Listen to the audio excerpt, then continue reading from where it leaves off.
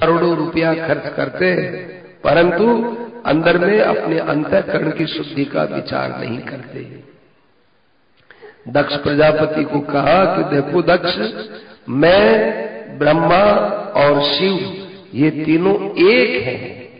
कोई सोचता हो कि मैं शिव का अपमान कर दूँ और विष्णु की आराधना कर लूँ, असंभव है। शिव को प्रसन्न कर लूँ और विष्णु से द्वेष करूँ तो असंभव है। हम तीनों एक ही तत्व हैं।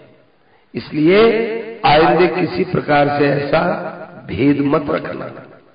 सभी ने भगवान विष्णु की स्तुति गाई और सब अपने अपने स्थान पर चले गए। फिर वही सती जी हिमालय के यहाँ पार्वती जी के रूप में अवतार ली और फिर पुनः शंकर भगवान को मिल गई। ये इतना पवित्र आख्यान है जो व्यक्ति भक्ति भाव से इसको सुनता है, जाने में, अनजाने में जो भी उससे अपराध होते हैं, वो सारे अपराध, सारा अधर्म इस चरित्र के सुनने से वैसे ही बह जाता है जैसे दक्ष प्रजापति का सारा अधर्म बह गया था। इतना पवित्र चरित्र है। तो मैंने आपको पहले कहा था कि उनके दो बेटा भी थे, प्रियव्रत और उत्तानपाद। प्रियव्रत बड़े पुत्र थे, उत्तानपाद छोटे पुत्र थे। तो देखो, यहाँ कहना तो चाहिए, प्रियव्रत का वंश। प्रियव्रत का वंश तो नहीं कह रहे, पहले उत्तानपाद का कह रहे, बड़े का वंश क्यों नहीं? क्योंकि बड़े का जो वंश कहा जाएगा, वो पाँचवें स्कंद के अंदर काम आएगा। और उत्तान पाद का वंश है, उसको कहा जाएगा वो चौथे स्कंद के काम का है। क्योंकि उत्तान पाद के एक ध्रुव नाम का पुत्र था। अब ये ध्रुव का उपाख्यान चलता है। पहले शिव उपाख्यान, जिसमें धर्म का निरूपण हुआ, अब काम का निरूपण होता है। काम माने इच्छा। मनुष्य के मन में कामनाएँ बहुत उठती हैं, पर उन कामनाओं को पूरा भगवान से करवाना चाहिए, तब वो काम में पवित्रता आती है। और स्वात्मोद्योग से स्व प्रयास से या अपने अज्ञान के साथ मिलकर के कामना को पूरा करना चाहते वहाँ जीव फंस जाता है। बात तो बहुत छोटी सी थी। ध्रुव अपने पिता की गोद में बैठना चाहता था, क्योंकि ध्रुव का छोटा भाई पहले से ही गोद में बैठा हुआ था। बच्चों के मन में रहता ही है कि वो होता है वैसे मैं करूँ, वो होता है वैसे मैं करूँ। तो ध्रुव जी भी बैठने के लिए प्रयास करने लगे तो उत्तम नाम का जो छोटा भाई था, उसकी माँ थी सुरुचि। सुरुचि ने मना कर दिया, ए ध्रुव, पिता की गोद में मत बैठो। क्यों माँ? नहीं नहीं, मैं कहती हूँ ना, यदि तुम्हें अपने पिता की गोद पसंद है तो तुम जाओ, भगवान की आराधना करो। और तुम सुनीति के बेटा हो ना, उसकी जगह मेरे बेटा बनो, और मेरे बेटा बनकर के फिर बाप की गोद में बैठो। अब देखो, यहाँ दो बात है। ध्रुव उपाख्यान को बहुत संक्षेप में, इतने में ही समझा देते हैं कि यहाँ ध्रुव का अपमान हुआ या भगवान के भजन का अपमान हुआ। प्राय दिखता है कि ध्रुव का अपमान हुआ, ध्रुव का अपमान हुआ, वो अपमान ध्रुव ने कुछ समझा ही नहीं। ध्रुव के मन में दुख हुआ इस बात का कि अरे भगवान के भजन का इतना अपमान? मेरी माँ जानती नहीं कि भगवान के भजन का कितना प्रभाव है? इसको तो इतना ही मालूम है, भगवान का भजन करने पर तेरे यहाँ जन्म लेंगे। अरे ऋषि मुनि तो जन्म मरण से छुटकारा पाने के लिए भगवान का भजन करते हैं। और ये कहते हैं कि भगवान का भजन करके मेरे यहाँ जन्म लो। कितना घोर घोर भजन का अपमान किया। भगवान का भी अपमान करते तो सहन कर लेते, लेकिन भगवान की प्राप्ति का जो साधन है, उसका अपमान करना, ये भगवान को भी असह्य होता है। कितना बड़ा अपराध किया मेरी माँ ने। और काल भगवान का भी अपमान किया। मैं छोटा बच्चा पाँच वर्ष का, भगवान की आराधना करते करते मरूँगा। तब तक क्या ये जीवित रहेंगी? क्या इतना भरोसा है इनको? और क्या हमारे पिताजी जीवित रहेंगे? अथवा क्या इनके पास राज्य भी अक्षुण्ण रूप से बना रहेगा? ये शरीर को नित्य मान रहे हैं और काल को भी नित्य मान रहे हैं। आज जो अवस्था है, उसको सदा के लिए मान रहे हैं। कितनी बड़ी भूल कर रहे हैं और भगवान का भजन का कितना अपमान कर रहे हैं। ध्रुव जी, उसी समय अपनी जन्मदा माँ के पास गई, गए और कहा कि क्या करना चाहिए कि बेटा तपस्या करो, भगवान का भजन करो। कि मेरी माँ ने ऐसा क्यों कहा? देखो, आदमी तो कई प्रकार की बात बोलता है। दुकान में तो बहुत सामान होता है, पर हमको जो प्रिय लगे, अच्छी लगे, वही तो सामान हम खरीदते हैं। हर आदमी के स्वभाव में, वाणी में अलग अलग बातें निकलेंगी। तुमको तो अच्छी से अच्छी बात लेनी चाहिए।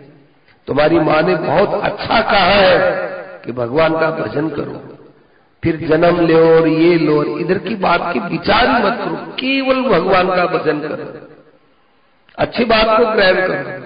सार सार को गई रहे, थोथा दे उड़ाए। संतों ने कहा है कि जैसे छाजला होता है, जिसमें गेहूँ वगैरह को यूँ हिला के साफ़ करते हैं, कंकर नीचे रह जाता है और अच्छी अच्छी चीज़ें बाहर निकल जाती हैं। इसी प्रकार साधु का स्वभाव होना चाहिए। साधु ऐसा चाहिए जैसा सूप स्वभाव। सार सार को गही रहे, थोथा दे उड़ाए। घाव उसमें छोटे छोटे छोटे छोटे तुस होते हैं और किनके होते हैं? छाजले में लेके यूँ उड़ाते हैं। तो जो हल्की फुल्की चीज़ें वो बाहर उड़ जाती है।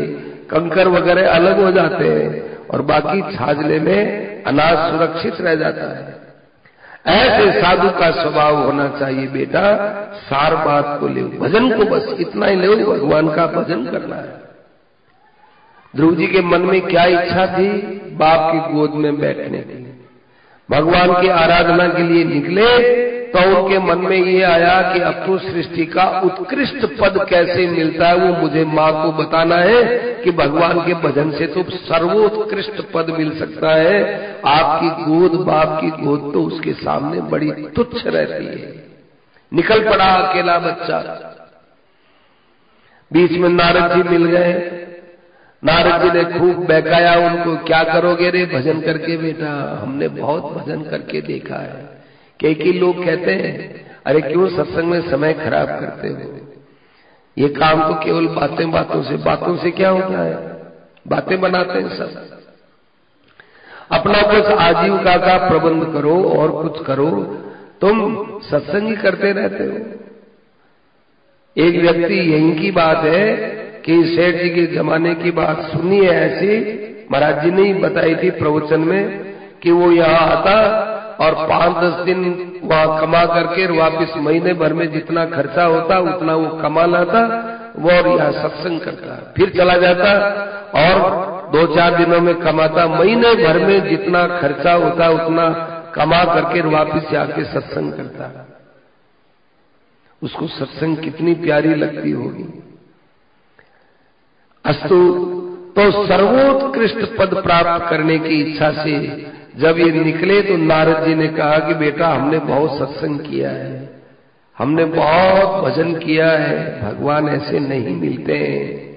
चलो, तुम्हारे पिता को मैं समझा देता हूँ।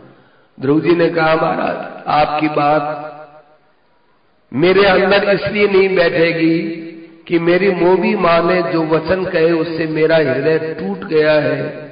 अब टूटे फूटे घड़े में पानी कैसे ठहरता है? वो पानी तो धीरे धीरे सिरकता रहता है ना। ऐसे ही मेरा हृदय टूट गया। मैं अब भजन के बिना रह नहीं सकता हूँ। आपका उपदेश लगता नहीं मुझे। पदम त्रिभुवनो त्रिभुवनोत्कृष्टम वो तो मैं लेना ही चाहता हूँ। बहुत प्रसन्न हुए नारद जी। कहने लगे, मैं यही सुनना चाहता था। भजन से कल्याण नहीं होता है ध्रुव। भजन का जो लक्ष्य होता है, उस लक्ष्य से कल्याण होता है। आज हम लोग परमात्मा की प्राप्ति का लक्ष्य बनाए बिना भजन करते हैं, सत्संग करते हैं।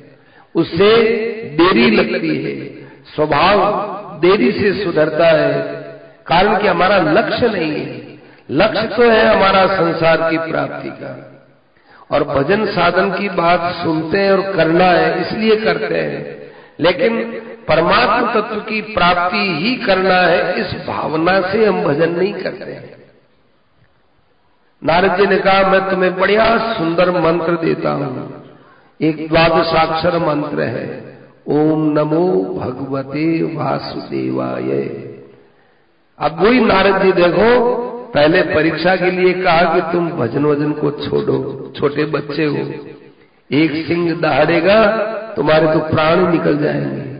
हाथी को देखोगे, इतने में ही तुम तो गायब हो जाओगे। हाथी आगे सूंद में ले जाएगा। क्या करोगे? जंगलों में जाकर। वही नारद जी कहने लगे, नहीं नहीं, जाओ। पर मैं बताऊँ, उस स्थल पर जाओ। कहा, मधुवन में जाओ, मधुवन। मधुवन क्या है? मधुवन वो स्थल है जहाँ भगवान ने बड़ी प्रेममयी, रसमयी लीलाएँ की। वहाँ जाकर तुम प्रेम पूर्वक ओम नमो भगवते वासुदेवाय का मंत्र का जाप करना। हो सकता है लक्ष्य के ऊपर दृढ़ रहने पर मन भी दृढ़ होगा, इंद्रियाँ भी दृढ़ होगी। लेकिन प्रारंभ में कहीं मन दूसरी बात को याद करने लगे तो सीधा किसी लीला में प्रवेश कर लेना। ये मन को एक खिलौना देना है, जैसे छोटा बच्चा होता है, ऐसे ये मन होता है। बच्चे को कभी राज़ी करना होता है तो माँ एक खुनखुनिया दे दे ले खुनखुनिया ले खुनखुनी संतों ने अपने मन को बताया है, राम बचन रो खुनखुनियो, तन बार बार कुण देसी रे। राम भजन रो खुणखुणियो जब संसार में मन जा तो इस मन को राम भजन का खुनखुणिया दे दो खुनखुणिया में आवाज़ आती है कुछ उसमें भरे हुए रहते हैं कंकर वगैरह उनकी आवाज़ आती है चू चू चू चू चू ऐसे इस मन को राम भजन का खुनखुणिया दे दो राम राम राम राम राम राम राम राम तरह तरह से राम राम राम राम राम महाराष्ट्री ने कहा कि गीता भवन गीता प्रेस में एक ये लिखने वाला था, जो ये दीवारों पर लिखते हैं, वो लिखने वाला था, वो सीताराम का कीर्तन बड़े विचित्र ढंग से करता था, नाम विचित्र ढंग से लेता था। सीताराम सीताराम चस्का लेके चूस चूस करके नाम सीताराम सीताराम सीताराम सीताराम उसको देखने में आनंद कैसे मधुर भाव से, कैसी तल्लीनता से नाम लेता है, चूस चूस करके उसको। सीताराम सीताराम। सीताराम। अब वो कोई मिश्री है, कोई और कोई मीठा पदार्थ है, कोई पेड़ा है, जो चोष्य हो, वो राम, नाम को, सीताराम को भी चूस चूस करके लेता है। ये ये क्या है? अपने मन को आनंदित करने का तरीका है। कई तरीके हैं। तो कहीं मन इधर उधर चला जाए तो भगवान की किसी भी लीला में चले जाना चाहे प्रेम की लीला हो, चाहे युद्ध की लीला हो, भगवान तो लीला धरे कई लीला करते हैं। किसी लीला में प्रवेश करवा देना। जब बच्चा घर में उपद्रव करता है तो माँ क्या करती, पाठशाला भेज देती है। अब पाठशाला चला जाए। पाठशाला में जाकर सुधर जाएगा। ऐसे ही इसको लीला में प्रवेश करवा देना। नारद जी ने ऐसे नारद जी के उपदेश से ध्रुव जी ने ऐसा ही किया, सारी सृष्टि में हाहाकार मच गया। छह महीने की उनकी तपस्या बड़ी विचित्र हुई। सर्वतो मन आकृष्य हृदय भूतेन्द्रियाश्रय ध्यान भगवतो रूपम। एकदम भगवान के रूप में वे तल्लीन हो गए, वहाँ उनको काल का, कोर का कुछ भी बोध नहीं हुआ।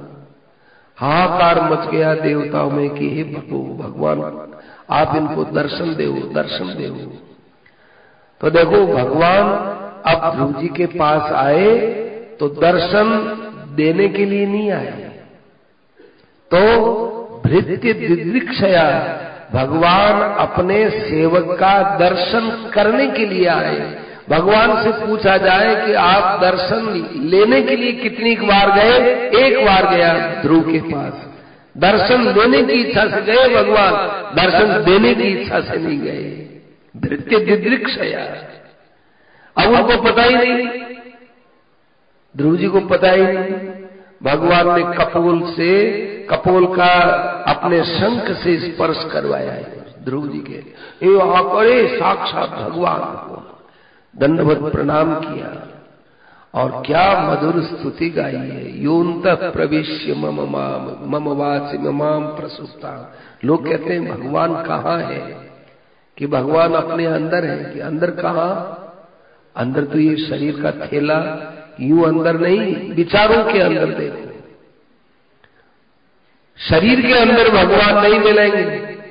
एक आदमी ने भोले भाले आदमी ने कहा कि महाराज आप कहते हो हृदय में भगवान रहते हैं शास्त्र कहते हैं, गीता बोलती है, हृदय सर्वशिचा हम हृदय सन्निविष्ट है, सबके हृदय में रहता हूँ। ये डॉक्टर लोग हार्ट का ऑपरेशन करते हैं, क्या इनको भगवान मिलता है? भगवान के दर्शन होते हैं क्या इनको?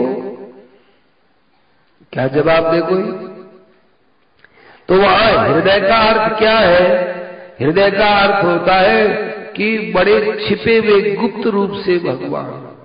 हृदय का अर्थ ये हार्ट है, इतना नहीं है। इसको तो हम बोलते हैं क्योंकि ये छिपा हुआ रहता है, हड्डियों के, इनके पीछे रहता है। ये जो यहाँ हड्डियाँ इनके पीछे रहता है। हार्ट का ऑपरेशन करते हैं तो यहाँ हड्डियों के अंदर से उस हार्ट में निकाल के साफ़ करके वापिस उसको रखते हैं। तो हार्ट के अंदर भगवान नहीं, विचारों की गहराई में भगवान। ध्रुव जी कहते हैं कि आपको पहचानने का सबसे बढ़िया तरीका है, क्या? योत प्रविश्य मम वाच मिमाम प्रसुप्ताम संजीवयति हम जो बोलते हैं, ये बोलने की ताकत किससे मिलती है? नेत्रों से देखते हैं तो देखने की ताकत किससे मिलती है? कानों से सुनते हैं तो वो ताकत किससे मिलती है? कहते हैं, ये तो प्राणों से मिलती है। तो प्राण हमारे शरीर को कायम रखते हैं। इन प्राणों को शक्ति देने वाला कौन है?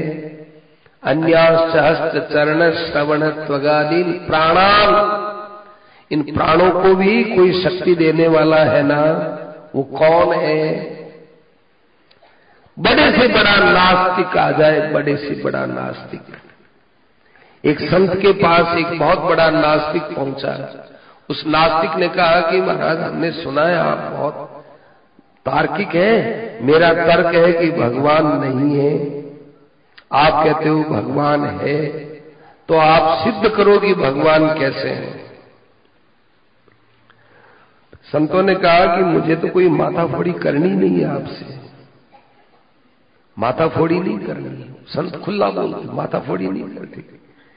क्या नहीं, मैं नम्रता से पूछता हूँ, नम्रता से पूछते हो तो बता देता हूँ कि भगवान को छोड़ो यार, वो ऐसे ही बोलते, भगवान को छोड़ो, अपने को भगवान से क्या लेना बैठे तो आप और हम दो ही है ना?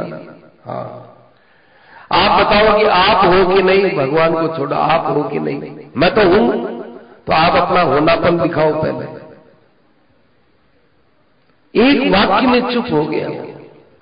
आप अपना होनापन दिखाइए कि मैं हूँ ये देखो, मैं हूँ, ये तो शरीर है। कि मैं कह रहा हूँ, ये तो वाणी है। आप अपना होनापन दिखाइए हम, होनापन। कि मैं हूँ तो सही, पर उसको दिखाया नहीं जा सकता तो फिर भग जाओ यहाँ से। ऐसे ही भगवान है नहीं, उनको दिखाया थोड़ी जा सकता है, बताया थोड़ी जा सकता है। भगवान का तो अनुभव होता है। भगवान का तो स्वीकृतिकरण होता है। भगवान तो विश्वसनीय होते हैं। जब आप पहले कहते हैं भगवान है ही नहीं, हम कहते आप हो ही नहीं। आप हो ही नहीं। ये तो शरीर है, शरीर तो मरने वाला है, आप कहा हो? चुप हो गए, समझ में आ गए रे बात हम कुछ और छिपे हुए भगवान। तो जो मन, बुद्धि, इंद्रिया, प्राण सबको अपने अपने कर्म में शक्ति देने वाला है, वो भगवान ही तो है। वो एक ही नाना रूप में हुआ है। बीज एक छोटा सा बीज होता है बटका वो बीज कितना विशाल वृक्ष बनता है। उससे कितने और बीज निकलते हैं, कितने बीज निकलते हैं। ऐसे अनंत शक्ति संपन्न प्रभु आप हैं। परंतु एक बात को मैंने देखा है कि एक तो होता है भगत और एक होता है ज्ञानी। उसमें आपको भक्ति बहुत अच्छी लगती है। और साधक के लिए भी भक्ति बड़ा सरल साधन, सरल सरल साधन महसूस होता है। अरे भैया, तुम अपनी बात करो ना। तुम किस लिए मेरी भक्ति कर रहे थे कि महाराज, मैं तो भूल भाल गया। मैं तो इतना ही जानता हूँ कि गाय और बछड़ा जब दोनों मिलते हैं तो गाय पहले पावस्ती है। बताया था ना? कि माँ के जब दूध झरने लगता है तो माँ देखती है कि मेरा बेटा भूखा है वो बेटा भूखा है। इसी प्रकार से आ, इसी प्रकार से भाई ध्रुव जी महाराज कहते हैं कि आप आपकी जो ये कृपालुता है इस कृपालुता से ऐसा लगता है कि मेरा मनोरथ कभी भी असफल होने वाला नहीं है। भगवान ने कहा मैं जानता हूँ वेदांति व्यवसितम। तेरे निश्चय को पहचान गया। छत्तीस हज़ार वर्ष तक पहले शासन करो और फिर तुम उस स्थान को प्राप्त करोगे जिस स्थान पर सब लोग परिक्रमा किया करते हैं। भगवान अंतरित हो गए। ध्रुव जी महाराज बैठ करके रोने लगे कि आनंद तो तभी आता जब हम अभी उस उस स्थान को प्राप्त होते हैं। लेकिन मैंने भगवान से क्या मांगा? हमें तो भगवान से केवल उनके चरणों का अनुराग मांगना चाहिए था। सुना ना? ये काम के अध्याय है। पहले अर्थ का अध्याय है। अब काम। काम की पूर्ति ध्रुजी भगवान से करना चाहते हैं और भगवान के साथ जब जुड़ गए तो अपने काम में जो कमी है कि मुझे क्या कामना करनी चाहिए थी और मैंने क्या कामना की, इसका निराकरण अब खुद ही करने लग गए कि मैंने त्रिभुवन का उत्कृष्ट पद क्यों चाहा, क्यों कामना की? मुझे तो भगवान की ही कामना करनी चाहिए थी। इसलिए सज्जनों, धर्म को भगवान के साथ जोड़ना चाहिए, काम को भी भगवान के साथ जोड़ना चाहिए। अब ध्रुव जी आए तो ध्रुव जी के आते ही सब बड़े प्रसन्न हो गए। जिसमें सुरुचि तो इतनी राज़ी हुई, इतनी राज़ी हुई, आते ही अपने जन्म वाले पुत्र के साथ, नहीं, ध्रुव के साथ बहुत प्यार किया। अरे ध्रुव अरे ध्रुव, तू आ गया, तू आ गया। मैत्री जी कहते हैं कि विदुर, जिसके ऊपर भगवान प्रसन्न उस पर स्वाभाविक ही सब लोग प्रेम करने लग जाते हैं। यस्य प्रसन्नो भगवान गुणैर मैत्यादिवीर हरि, तस्मी नमंति भूतानी निम्न माप इव स्वयं। वैसा जैसे पानी स्वतः ही ढलास की तरफ़ जाता है, ऐसे ही भगवान की कृपा को जो प्राप्त कर चुका, प्रसन्नता को प्राप्त कर चुका, उसकी तरफ़ सब झुकने लग जाते हैं। क्या पिता को आनंद का अनुभव हुआ?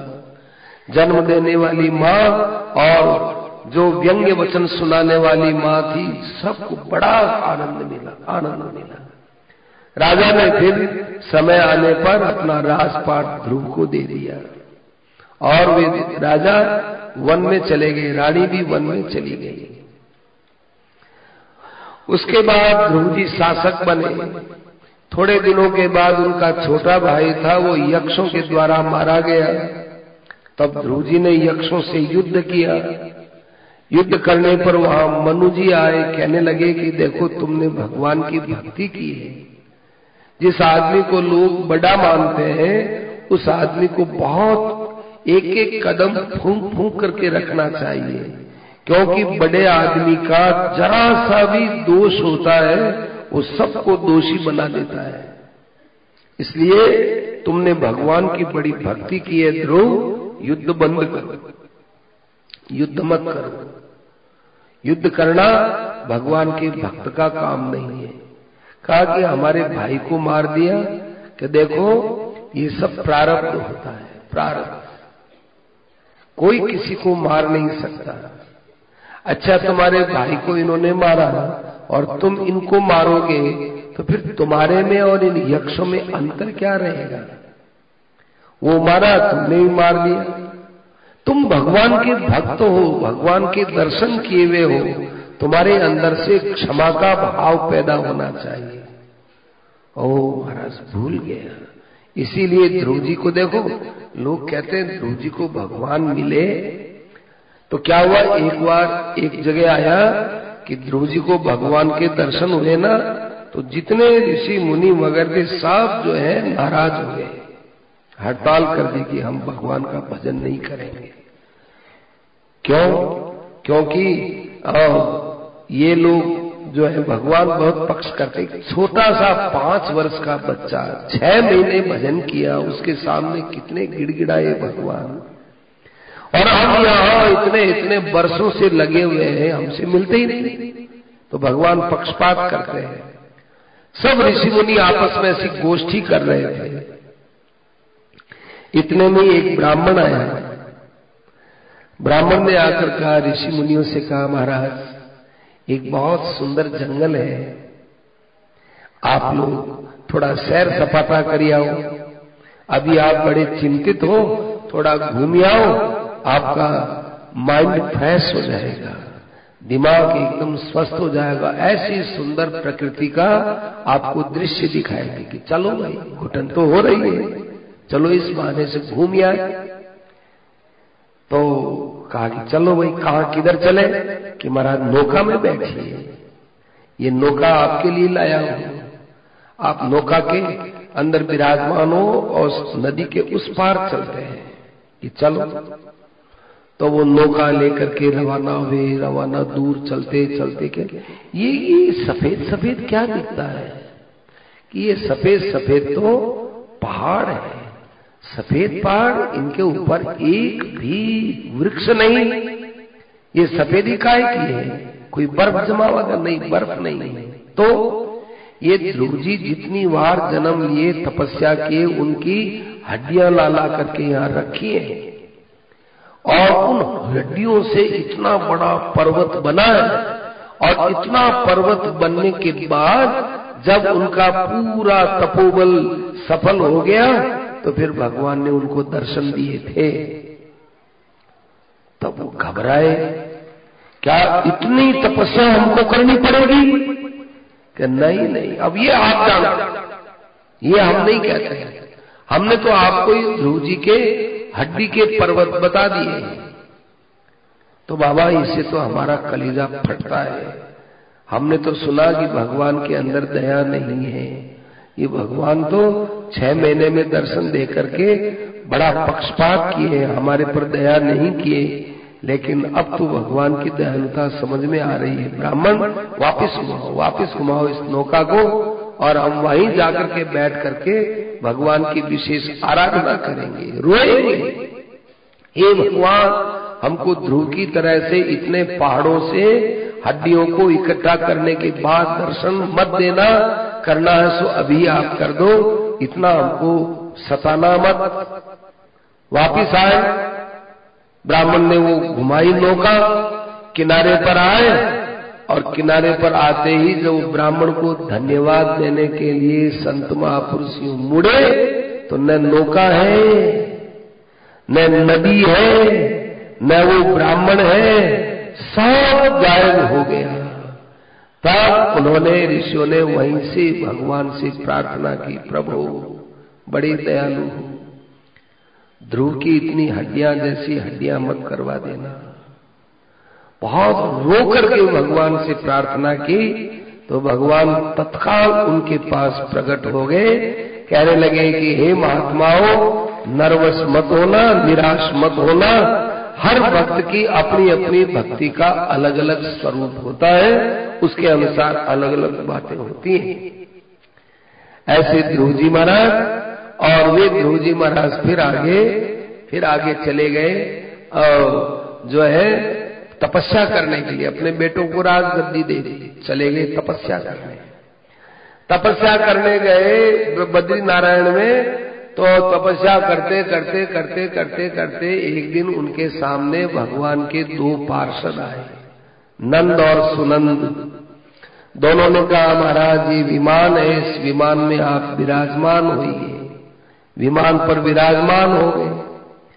विराजमान होने के बाद वो कह रहे, मेरी माँ के कारण से मैं भक्ति में लगा, मेरी माँ कहाँ है? तो कहा, आपकी माँ आगे जा रही है, आगे। तो मृत्यु के सिर के ऊपर पैर रख करके ध्रुव जी महाराज उस विमान में बैठे थे। मृत्यु के मृत्यु के सिर पर पैर रख करके। मृत्यु और मूर्धनी पदम कृत्वा। और नारद जी महाराज ने इन्हीं ध्रुव जी का उपाख्यान फिर प्रचेताओं की सभा में कहा। मैत्रेय जी ने कहा कि देखो, हम कई कथाओं का महात्म्य जानते हैं, परंतु जो ध्रुव चरित्र का महात्म्य है, वो और किसी चरित्र का नहीं है।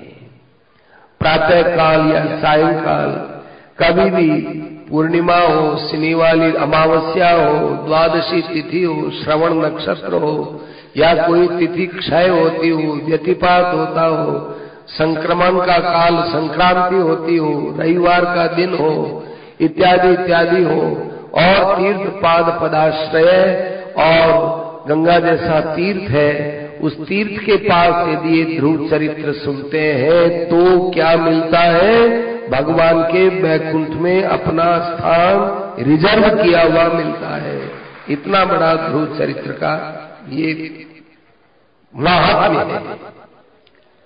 विदुर जी ने कहा कि देखो महाराज, आप हमारी कथा को और आगे बढ़ा रहे हो। आपने कहा कि प्रचेताओं को ये कही? प्रचेता क्या है? कि प्रचेता कुछ नहीं है, ध्रुव जी के वंश के अंदर कई राजा लोग हुए। एक अंगवीर उनके वंश में हुआ था। जटापटी में बिना सोचे समझे उसका एक विवाह हो गया। उसके कारण से उसकी संतान बड़ी खराब हो गई। मृत्यु की दोहिती थी, उसके साथ सुनी था, उसके साथ विवाह हो गया। जटापटी में विवाह कर दिया। विवाह एक ऐसा काम बहुत धैर्य के साथ करना चाहिए। तो ऐसे ही जटापटी में विवाह कर दिया तो उसकी संतान वेन हुआ, वेन। तो वो वेन हुआ तो बड़ा दुष्ट राजा हुआ। वो वेन भी कैसे हुआ कि पहले तो कोई लड़का था नहीं पहले कोई लड़का था नहीं, और फिर उसके बाद उसने यज्ञ किया, और यज्ञ करने पर जो है, यज्ञ के अंदर से अग्नि प्रकट हुई, और एक सिद्ध खीर दी गई, और उस खीर का भोजन किया। भोजन करने पर अधर्म का अंश वेन पैदा हुआ, वेन। अब वेन इतना दुष्ट, वो दुष्टता कहाँ से आई? वो दुष्टता आई अपने माता से आई। क्योंकि माता मृत्यु की दोहिती थी तो मृत्यु का धर्म उसमें था। तो वो वेन इतना उद्दंड इतना उद्दंड, देखो वो भगवान की सत्ता ही स्वीकार नहीं करता था। सेठ जी ने लिखा कि पापी का संग करें तो इतना दोष नहीं है, नास्तिक का संग कभी नहीं करना चाहिए। नास्तिक कौन होता है? नास्तिक को वेद निंदक है। जो वेद को न माने शास्त्र को न माने, भगवान को न माने, महापुरुषों के वचनों को न माने, वो वो होता है नास्तिक। तो वेद ने क्या किया? भगवान कौन होता है? संतों ने समझाया कि अरे भैया, यज्ञ वगैरह करने दो। क्यों? ये भगवान की आज्ञा है, शास्त्र की आज्ञा है कि नहीं, कोई भगवान भगवान नहीं होते। जो भगवान को न माने, उसका संग कभी नहीं करना चाहिए। बड़ा उग्र राजा था। तो संतों ने देखा कि ऐसे नास्तिक राजा हो जाएँगे जो भगवान को नहीं मानते और भगवान के विधान को नहीं मानते, वेद को नहीं मानते, इससे प्रजा में अधर्म बहुत बढ़ जाएगा। तब उन्होंने कोपाग्नि से उसको वहीं पर मार दिया, हंकार कर दी और वो अपने आसन से गिर गया, मर गया। अब मरने के बाद देखा, राजा किसको बनाए? तो इसका जो शरीर था, उस शरीर का मंथन किया, माने उसके जांघों का मंथन किया। तो एक काला कड़ूता नाटा चपटे मुख वाला और बहुत ही छोटे कद वाला एक आदमी पैदा हुआ, जिसके दांत बहुत बाहर आए हुए थे। गुरु मैं क्या करूँ? मुझे क्यों बनाया? ऐसे बोला तो कहा निषीद बैठ जा तू यार कहा गया बीच में? बैठ जा बैठ जा। तो बैठ जा का क्या हुआ? कि तू यहाँ, अब तू हमारे काम का नहीं चला जा। तो वो चला गया, पर्वतों में चला गया। तो वो निषाद जाति वहाँ से बनी है। वो निषाद जाति निषीद से निषाद हो गया। फिर उसके शरीर का मंथन किया। तो साक्षात भगवान, विष्णु और लक्ष्मी जी पृथु और अर्ची के रूप में अवतरित हुए। ये महाराज पृथु और अर्ची, वे माने दाएँ भुजा से भगवान, विष्णु पृथु के रूप में और बाई भुजा से भगवती लक्ष्मी अर्ची के रूप में अवतरित हुई। ये भगवान का अवतार है पृथु। अब पृथु का चरित्र सभी जानते हैं, खूब उनकी प्रशंसा होने लगी। तो प्रशंसा से देखो, हम लोग तो राज़ी होते हैं। लेकिन श्रेष्ठ पुरुष होते हैं, वो लज्जित होते हैं। उन्होंने कहा कि देखो, ये चाटुकारिता है। चाटुकारिता मनुष्य को लज्जाशील, मनुष्य को बहुत तकलीफ़ देती है।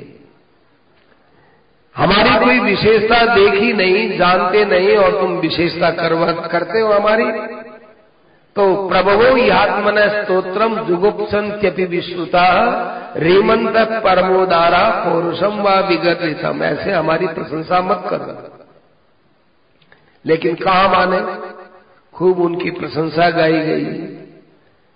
और फिर मैत्री जी कहते हैं कि एक बार बड़ा भयंकर अकाल पड़ा। सारी प्रजा हाई त्राई करने लगी। न गायों को घास मिले न जनता को अन्न मिले, न पानी मिले। तिगरी तिगरी माने अन्न घास फूस अन्न और जल। अन्न और जल की तो मनुष्यों को ज़रूरत है। घास वगैरह की और पानी की तो सभी को ज़रूरत है, जो भी पशु पक्षी है, उनके सब हाई फ्राई करने लगे। तो पृथ्वी ने कहा, पृथ्वी से कि पृथ्वी, क्या बात है? तू ये अन्न, जल न तो जल का संग्रह करती है और न तो अन्न का उत्पादन करती है। बात क्या है? तो पृथ्वी कुछ नहीं बोली तो क्रोध आया। क्रोध आने पर धनुष ताना तो पृथ्वी गाय बन गई। गाय बन करके दौड़ने लगी। उन्होंने देखा कि गाय बन जाऊँगी तो फिर ये मुझे मारेंगे नहीं। तो पृथ्वी राजा के सामने भी समस्या हो गई। अब गाय बन गई क्या करो? गाय को तो मारना अधर्म है।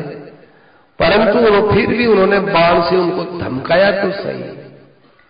वो प्रार्थना करती है कि महाराज, आप तो मेरा उद्धार करने वाले वरा रूप से पधारने वाले, और आप ही मुझे आज बाणों से मारोगे? तो फिर तो क्यों नहीं देती है? हमको अन्न जल वगैरह क्यों नहीं देती है? तो कहने लगे, महाराज, आपके शासन में आप देखो कितना पाप और अत्याचार बढ़ रहा है। पाप और अत्याचार बढ़ता है, तब अन्न और जल की सबसे बड़ी समस्या होती है।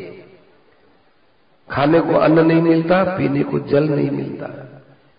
चौरी भूजे लोके हम यज्ञार्थे अग्रसम औषधि।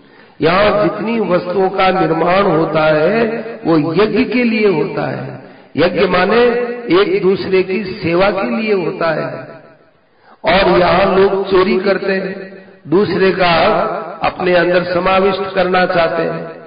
यदि आप वास्तव में प्रजा का हित करना चाहते हो तो पहले चोरों को नष्ट करो, दुष्ट आत्माओं का नाश करो।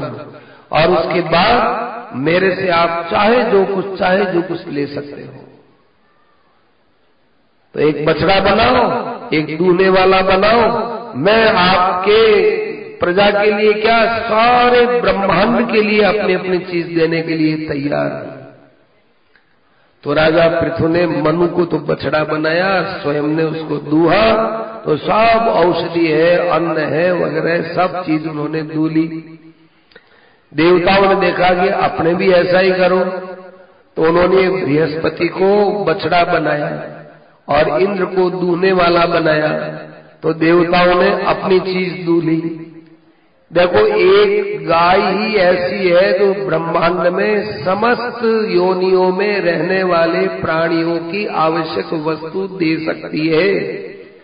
लोग कहते हैं, गाय के अंदर तैतीस करोड़ देवता कहाँ रहते हैं? जब गाय को मारने वाले लोग गाय पर तलवार चलाते हैं तो उसमें से देवता क्यों नहीं प्रकट होते? वो देवताओं की शक्ति को जानते नहीं। देवता कहते हैं, इसका अर्थ क्या है? देवत को शक्ति रहती है।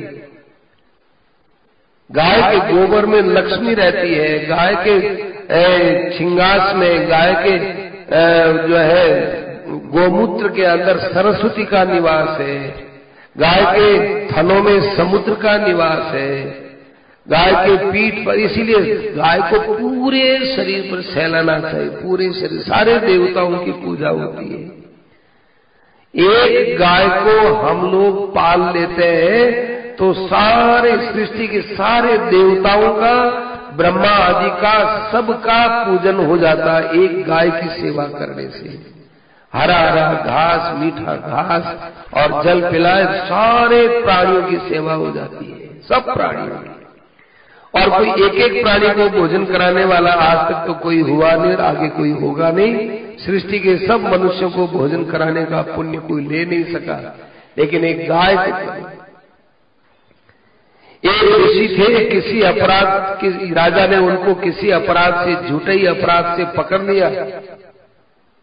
जबकि ऋषि का कोई अपराध था ही नहीं। राजा को बाद में चला पता चला तो राजा बड़ा दुखी हो गया कहने लगा महाराज मैंने झूठे ही आपको पकड़ लिया, अब मुझे कोई आप, जो आज्ञा दीजिए मैं क्या करूँ? आपको मैं राज्य दे दूँ? कहा कि नहीं तो भी प्रायश्चित नहीं होगा। अब मैं सोना दे दूँ, चांदी दे दूँ, राज्य ना, कुछ नहीं हो पृथ्वी दे दूँ तो नहीं होगा। इससे प्रायश्चित नहीं होगा। तब वो राजा चिंतित हो गया। ब्राह्मणों से पूछा कि ब्राह्मणों, इस ऋषि का अपराध कैसे दूर हो? मैंने राज्य तक दे डाला। तो ब्राह्मण ने कहा कि आप ऐसा मत करो, इनको एक गाय दे दो। तब कहने लगे बड़ी सुंदर, अच्छी, ब्याई हुई गाय, सफ़ेद कपिला गाय, वो लाए रिष्ट पुष्ट, ताजी, स्वस्थ और बड़ी सौम्य, और साथ में उसके बछड़ा, गाय बछड़ा लेकर के महाराज मैं आपको ये देता हूँ, अब तो क्षमा न। अब ये गाय आ गई अब क्या है? तेरे सारे अपराध क्षमा है। गाय दे दिया तो तूने सारे ब्रह्मांड को दे दिया। संपूर्ण ब्रह्मांड का आज मैंने दान लिया है, क्योंकि इसमें देवता, ब्रह्मा, सारे प्राणी इसमें निवास करते हैं। उसको अपराध मुक्त कर दिया, ऋषि ने क्षमा कर दिया। ऋषि ने फिर नम्रता से पूछा कि प्रभु, मैं राज्य दे रहा था राज्य के अंदर तो कितनी गायें थी। आपने एक गाय पर मुझे इतना क्षमा क्यों किया? तो संतों ने महात्मा जी ने उत्तर दिया कि देखो, आपकी दृष्टि राज्य के वैभव पर थी, गाय पर नहीं थी।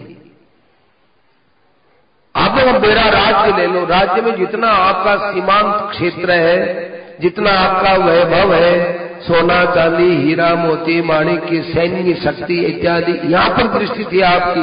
आपकी गाय पर दृष्टि थोड़े थी। गाय पर दृष्टि नहीं थी, इसलिए हम आपको नहीं बोल सके। और अब आपकी गाय पर दृष्टि गई तो अब गाय को प्राप्त कर लिए राजन। तुम्हारे सारे पाप उतर गए। सब तुम्हारे तुम्हारे कोई दोष नहीं रहा।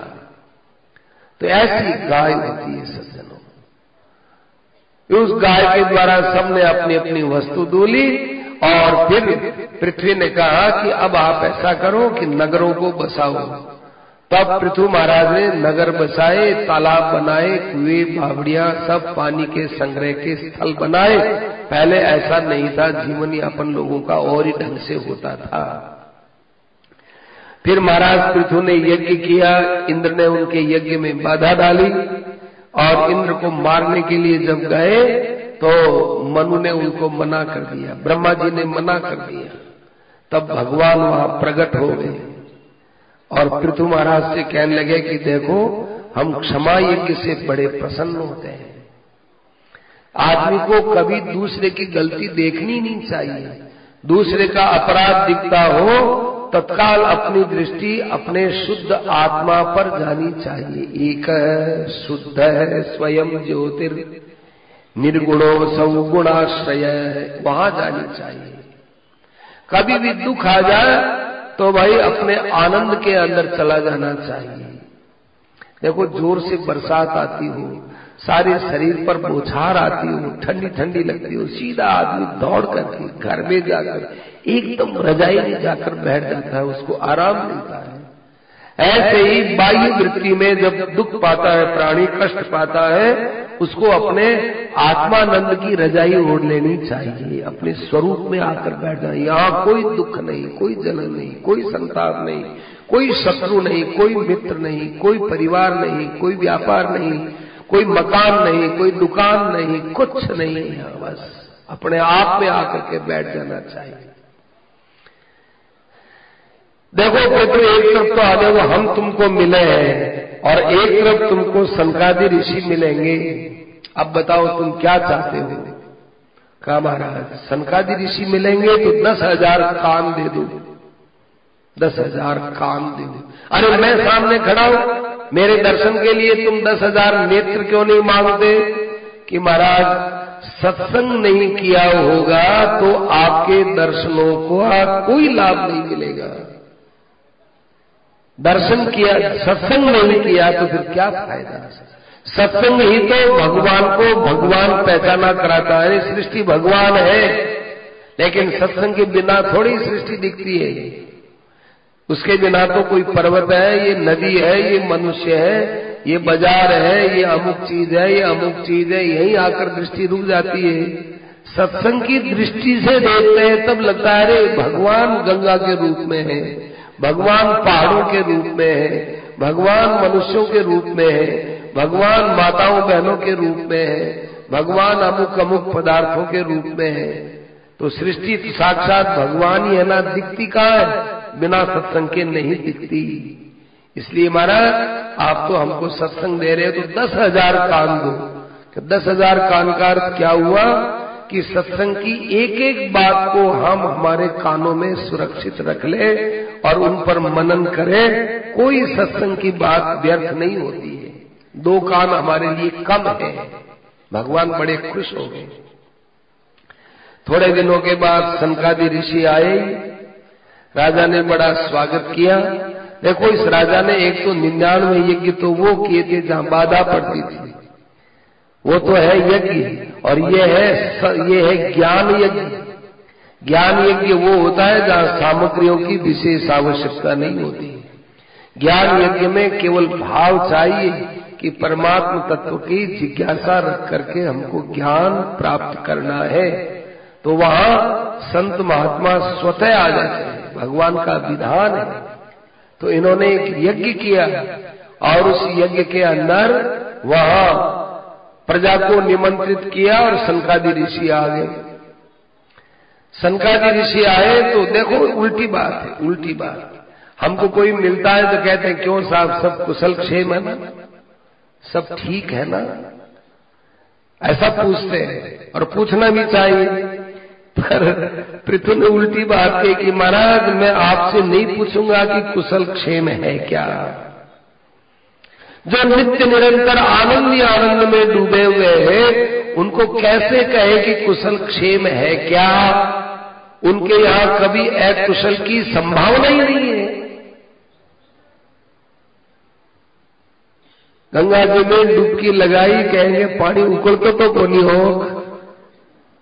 पानी उकलता तो कोनी होनी। अरे, पानी गंगा जी का स्वतः ही ठंडा है।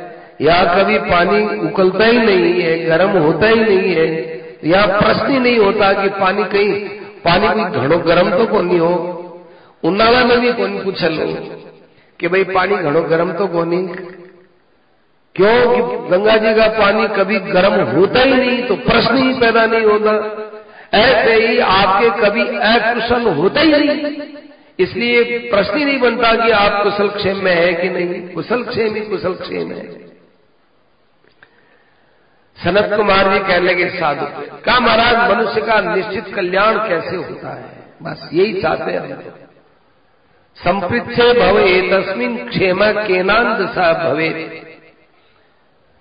तो कहा कि संत का असली सत्कार यही है कि उनसे कल्याण की बात पूछी जाए। ये असली सत्कार है। बाह्य उपचार तो कोई विशेष सत्कार नहीं है। अच्छे संत मिले और कह दे, महाराज, आशीर्वाद दो। हमारे कोई बीमारी न हो, हमारा जीवन सुखमय हो। ये संत का अपमान करना है। ये संत का अपमान है कि जो उनसे हम लौकिक कामना करते हो। ये संत का अपमान है। साधु कृष्णम सर्वभूति हितात्मना। यही वास्तव में सर्वेशम वितनोतिशम तुम्हारा यही प्रश्न सबका कल्याण करने वाला, इससे हम बहुत सत्कृत हो गए, आनंदित हो गए। देखो राजन, हम ज़्यादा शास्त्र की बात नहीं बताएँगे। हम बताएँगे आपको कि या तो बिल्कुल संसार से असंग हो जाओ, और या निर्गुण या सगुण भगवान में प्रेम कर लो, बस। ये हमारे सारे उपदेश का सार है। अपनी संगत अच्छी रखो, एकांत में रहकर वास्तविक तथ्य का मनन करो। कभी भी भगवान के लीला मृत को छोड़ करके और उपायों से तुमको शांति नहीं मिल सकती। इस बात का पहले से ही विचार करो। भक्ति के द्वारा हृदय में खूब गहराई से जमा हुआ जो मैल है, कारण शरीर के अंदर भी जमा हुआ मैल है, जो सीधे ज्ञान से भी लुप्त नहीं होता है, समाप्त नहीं होता है, वो आशय दग्ध नहीं होता है, वो भक्ति से ही नष्ट होता है। क्योंकि भक्ति से हमारा जो सूक्ष्म अहंकार है वो अहंकार अहंकार भगवान के साथ जुड़ जाता है इससे पवित्र हो जाता है। जैसे कितना ही काट लगा हुआ लोहा है उसको अग्नि में डाल दो वो काट खत्म हो जाता है। ऐसी भक्ति है वो अंतकरण में छिपा हुआ सूक्ष्म अहम भाव है। वो अहम भाव मिटता है मैं हूँ श्री भगवान का। मेरे श्री भगवान, अनुभव यह करते रहो, तज ममता अभिमान। मैं भगवान का हूँ, अपने को भगवान के साथ जोड़ते ही हमारे अहम के अंदर आई हुई जितनी कारण शरीर की मलिनता है, छिपी हुई, सब समाप्त हो जाती है। सब समाप्त हो जाती है। और सबसे बड़ा जीव का स्वार्थ होता है, भगवान के चरणों में प्रेम करना, वो सिद्ध हो जाता है। राजा ने कहा, महाराज, कितना अच्छा आपने उपाय बताया। भक्ति का उपाय बताया। हम तो सोचते थे कि ब्राह्मण लोग होते हैं, ये तो दूसरों के दिए हुए अन्न से पलते हैं। आज पता चला कि ब्राह्मण के द्वारा दिए हुए अन्न से सारी दुनिया पलती है। स्वमेव ब्राह्मणों भूंगते स्वम वस्ते स्वम ददाती च। ब्राह्मण अपना ही लेता है, सबको देता है, अपना ही ग्रहण करता है, और तसीव अनुग्रहेणान्नम भुंजते क्षत्रियादय, सब उसके दिए हुए अन्न से पलते हैं। लोग देते मैं बामन दान दी ब्राह्मण है, बापड़ो, इन कहीं दे दो बामन है बामन है, गंगा जी तक है, दे दो विचारण कहीं दे दो। इतना हीन समझ करके ब्राह्मण को दिया जाता है, वो दान दान नहीं होता है। न देने की अपेक्षा कुछ थोड़ा बहुत हो जाए तो पर, इसे तो न देना ही अच्छा इतना हीन क्यों समझते हो? और ब्राह्मण भी अपने को हीन समझ के मैं बामण हूँ, आया कहीं देना तो दे देने बामण हूँ देने एक गरीब बामण हूँ तो अपने को हीन क्यों माने? हीन है ही नहीं। भागवत ब्राह्मण को कभी हीन नहीं बनाता बड़ा प्रसन्न हो गया। और उसका असर क्या हुआ? महाराज पितु ने राजपाट अपने बच्चों को दे दिया। बद्रीनारायण चले गए। और बद्रीनारायण जाकर के विचार करने लगे, क्या? कि पृथ्वी कहाँ से पैदा हुई? जल से। जल कहाँ से पैदा होता है? अग्नि से। अग्नि कहाँ से पैदा होती है? वायु से। वायु आकाश से। आकाश तमोमय अहंकार से। अहंकार किससे पैदा होता है? महतत्व से। महतत्व प्रकृति से। प्रकृति परमात्मा से। परमात्मा की वो तो स्वतः सिद्ध। ऐसे सीधी बाई सीध जाते जाते प्रत्याहार ज्ञान करते करते परमात्मा में जाकर सिद्ध हो जाते हैं।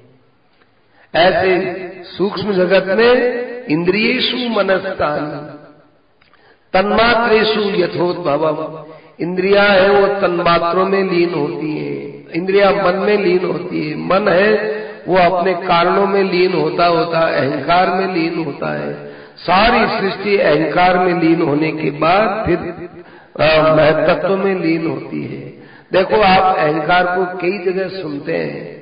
एक तो अहंकार अभिमान बोलते हैं। ये अभिमान तो हमारा बनाया हुआ है। एक प्रकृति का अहंकार होता है। प्रकृति का जो अहंकार होता है, वो बांधने वाला नहीं होता है। जैसे मन है, बुद्धि है नेत्रादि इंद्रिया है, ऐसे ही वो प्रकृति का अहंकार होता है जिसमें मैं शब्द का प्रयोग करते हैं। बड़े बड़े निरभिमानी महापुरुष भी मैं का प्रयोग करते हैं कि मैं वहाँ गया था, मैं वहाँ ऐसे सुनता था, मैं महात्माओं का सत्संग करता था, उस मैं में कोई दोष नहीं। है क्योंकि वो मैं प्रकृति का मैं है। वो प्राकृत में कभी बोलने में, चालने में, व्यवहार में ही काम आता है। अंदर में कोई नया, नई मान्यता बनाने में नहीं आता। नई मान्यता बनाने में जो अहंकार होता है, वो अहंकार और होता है। नाम सामने हो गया तो उसका कौन क्या करे? अभी कोई जैसे कह दे, एक का नाम राधेश्याम है राधेश्याम को गिरफ़्तार करो। तो हमारे संत राधे श्याम जी को अगर कोई पकड़ेगा, वो कभी क्यों? मैं थोड़े हूँ, मेरे मेरे क्यों गिरफ़्तार करते हो? आगे देखो कि वो राधे श्याम कौन है कि राधे श्याम सन ऑफ़ अमुक अमुक अमुक, ये तो मैं हुई नहीं। तो राधे श्याम नाम है ना, कि नाम सामने होने से क्या हो गया? बाकी और चीज़ें तो मिलती नहीं। ऐसे ही अहंकार अहंकार अहंकार, ये तीन, चार जगह अहंकार नाम आता है। तो एक अहंकार प्राकृत होता है प्राकृत अहंकार का प्रयोग तो संत महापुरुष जीवन मुक्त महापुरुष सब करते हैं इसका उपयोग। वो भी मैं मैं मैं मैं का प्रयोग करते हैं, क्योंकि प्रकृति के अंदर रह रहे हैं। प्रकृति की वाणी का उपयोग करते हैं, प्रकृति के भोजन का उपयोग करते हैं, प्रकृति के शरीर का उपयोग करते हैं, ऐसे उस मैं का भी उपयोग करते हैं। पर वो केवल व्यवहार तक, मान्यता में वह अहंकार बाधा नहीं देता। मान्यता यदि नई ढंग की बना लेते कि मैं विद्वान हूँ, मैं महिमावान हूँ, मैं पदवान हूँ, मैं धनवान हूँ, मैं योग्यतावान हूँ, मैं अमुक कुछ शक्ति रखने वाला हूँ, ये ये अहंकार बाधा देने वाला होता है। प्राकृत अहंकार नहीं बनाता, बांधता, हम अपने अंदर जो एक अहंकार बनाते हैं, वो बांधता है। इसलिए जो प्राकृतिक अहंकार होता है, उसकी तरफ़ ध्यान नहीं देना चाहिए। अब जो है, उनका राज्य हुआ। अब पृथु हाँ पृथु महाराज ने, पृथु महाराज ने अपना शरीर वहीं छोड़ दिया। तो उनके साथ में पत्नी भी थी, वो भी पृथु महाराज के साथ चिता में बैठ गई और स्वतः ही वो चिता प्रज्वलित हो गई। हमारे सतियों का ऐसा प्रभाव होता था, वे सती आग लेकर के नहीं जाती थी पति के यहाँ, चिता में। वे आग स्वयं उत्पन्न करती थी। अभी आपने सती का प्रसंग सुना ना? ऐसे ही अर्ची ने चिता बनाई, अपने पति के शव को रखा और स्वयं भी उसमें बैठ गई और स्वतः ही चिता को प्रज्वलित किया। उसके बाद ये सारा दृश्य देवांगनाओं ने देखा। देख करके आश्चर्य किया कि वो मानवीय शरीरों में आने के बाद भजन दृष्टि से जो जीव में दिव्यता आती है, वो दिव्यता देवताओं में कदा कदापि नहीं आ सकती।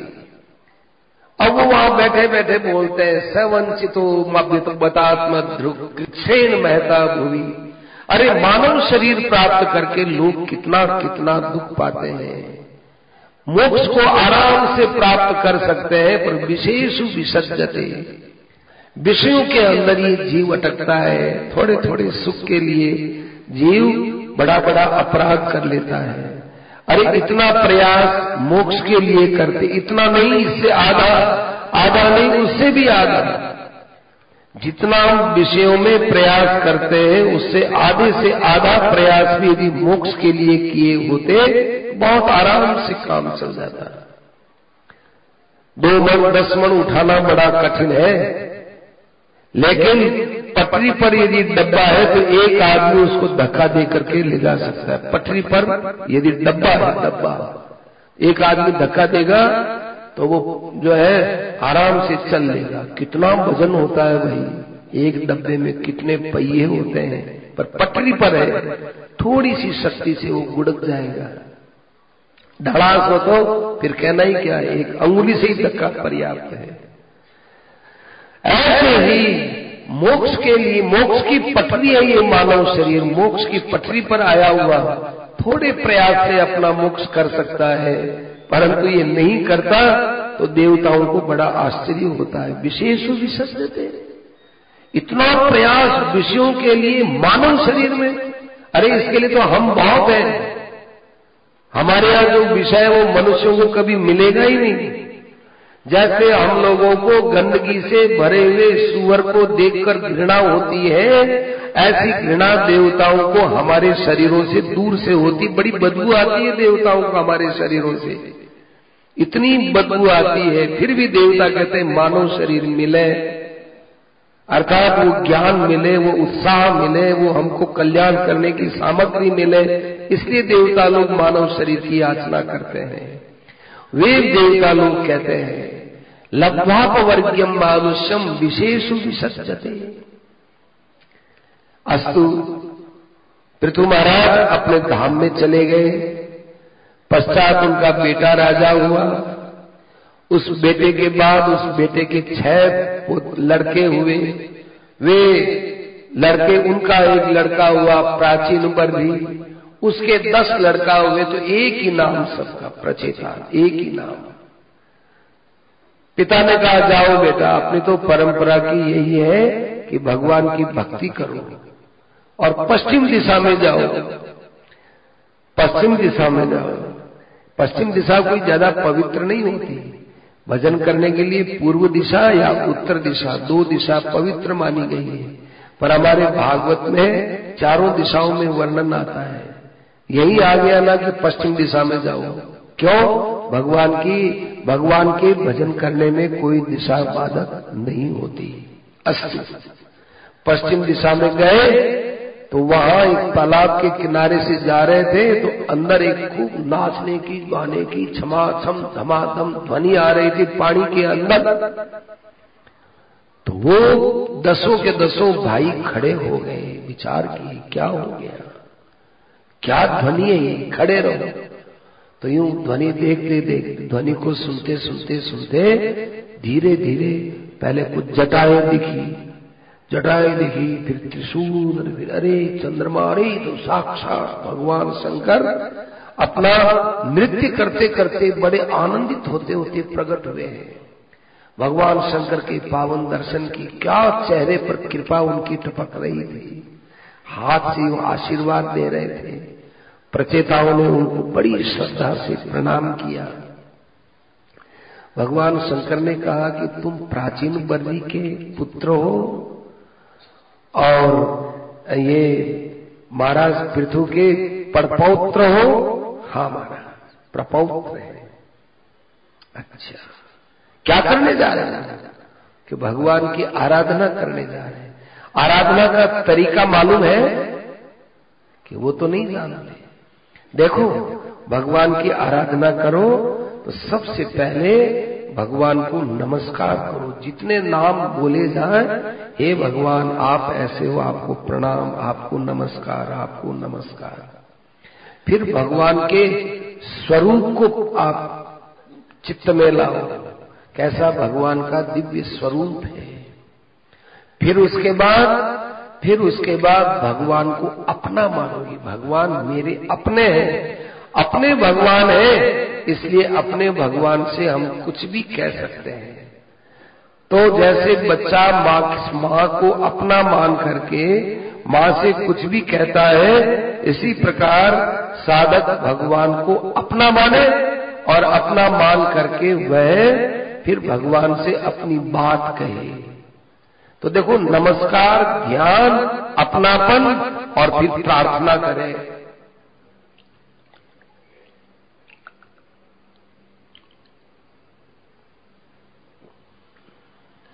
प्रार्थना में इतनी बात कहे कि बस मेरे से भजन नहीं होता है प्रभु। मेरे अंदर ये ये कमियाँ हैं। मेरे अंदर ये ये कमियाँ है, ऐसा है, वैसा ये ये प्रार्थना करनी चाहिए। प्रार्थना करने में कभी अपनी विशेषता पर ध्यान नहीं देना चाहिए। ऐसे भगवान के सामने दीन होकर के प्रार्थना करें। ये योगादेश है। नमस्कार, भगवान के स्वरूप का अंतर ध्यान और फिर भगवान के साथ अपनापन और अपनेपन से अपने अंदर आए हुए दुर्गुणों को दूर करने के लिए प्रार्थना करना। ये चार क्रम है। इस क्रम से जो ध्यान करता है, भगवान उस पर बड़े प्रसन्न हो जाते हैं। ये योगादेश है, योगादेश। इसको स्वीकार कर लिया। इधर प्राचीन बर्धी प्रचेताओं का जो पिता, उसके पास नारद जी आए। अब देखो कोई कोई लोग कहते हैं, हमको सत्संग नहीं मिलता, हम क्या करें? और हम सत्संग के बिना नहीं रह सकते। तो क्या करो, अपने अंदर सत्संग करो, बैठ करके। अपने अंदर क्या सत्संग करें? तो वो आंतरिक सत्संग करने की यहाँ नारद जी विद्या बताते हैं। प्राचीन बर्री थे, ये यज्ञ बहुत करते थे। भगवान में कोई भक्ति वगैरह नहीं थी। तो नारद जी ने जाकर उनको कहा कि प्राचीन बर्री जी क्या कर रहे हो कि यज्ञ करता हूँ? शुभ कर्म है। अरे यज्ञ तो करते हो, पर यज्ञ में बकरा भी तुम मारते हो, हिंसा भी तो करते हो। ये तो यज्ञ का विधान है। अरे नहीं बाबा, हिंसा और यज्ञ दोनों का मेल नहीं होता कि शास्त्र में लिखा है। यज्ञ तो यज्ञ के अंदर एक पशु की तो बलि होती है। अरे नहीं बाबा जो आदमी हरदम बलि करता ही रहता है, उसको कहा कि यज्ञ के अंदर ही करो, दूसरी जगह मत करो। तो यज्ञ न करने में शास्त्र के ये यज्ञ में भी हिंसा मत करो, इसमें तात्पर्य है। शास्त्र में ये भी तो लिखा है, पशु और आलबनम हिंसा। पशु को हिंसा के निमित्त ले आए और उसका शस्त्र से केवल स्पर्श करा दिया और छोड़ दिया, हिंसा हो गई। तो मूल तात्पर्य में, मूल तात्पर्य में बात है उसको अहिंसक बनाना। जो हरदम बकरे काटता था, उसको कहा कि तुम एक यज्ञ में एक बकरा काट सकते हो। फिर यज्ञ के अंदर काटने लगा तो कहा, देखो, यज्ञ तो बिना प्राण लिए भी हो सकता है। बकरा लाए हो, शस्त्र का यो स्पर्श कर दिया, बस हिंसा हो गई, बकरी को छोड़ दो। तो उसको तो हिंसा छुड़ाइए ना। ऐसे अहिंसक बनाने के लिए कि साहब, मैंने तो बहुत काटे हैं ऐसे। तो काटे तो मेरी नज़र से आसमान में दृष्टि दौड़ाओ और देखो ये सब के सब विकराल मुख किए हुए तुम्हारी प्रतीक्षा करते हैं। तुम मर जाओगे तो ये सब के सब तुमको खाने के लिए बैठे हैं। हे महाराज, ये तो बड़ा विकृत रूप है इनका। ये एक एक पशु कितनी कितनी बार तुमको खाएँगे लेकिन मरोगे नहीं तुम? नरक का दुख ऐसा होता है कि जिसमें प्राण नहीं जाता है, लेकिन खूब कष्ट पाता है। ये सब तुमको नोचेंगे, मरोगे नहीं। कोई कैसे कोई कैसे तुमको खाएगा, फाड़ेगा?